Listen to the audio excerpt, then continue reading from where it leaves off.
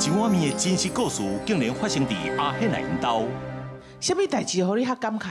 阮爸爸倒下讲就是，阮上届伊一阵啊，阮兜写兄弟啊嘛，一一包乌龙，阮写一包，嗯，叫导游。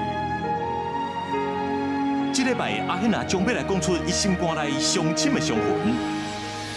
礼拜日暗时六点半，超级红人榜，敬请收看。